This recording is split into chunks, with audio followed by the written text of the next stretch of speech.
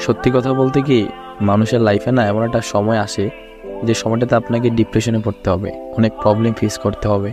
হয়তো বা সেটা ফ্যামিলি প্রবলেম হতে পারে, হয়তো রিলেশন নিয়ে কিংবা ফ্রেন্ডশিপ নিয়ে। সবগুলো মিলে না ডিপ্রেশনে চলে যাবেন। আর বাস্তবতা হচ্ছে, সেখান থেকে আপনাকে উঠে আসতে হবে। তা না হলে লাইফে কখনো সাকসেসফুল হতে পারবেন না। আর সবাই তো জানেন সাকসেসফুল পার্সন ছাড়া কেউ কখনো দাম দেয় না। সাকসেস না হতে পারলে আপনার প্রিয় মানুষটা আপনার পাশে থাকবে না।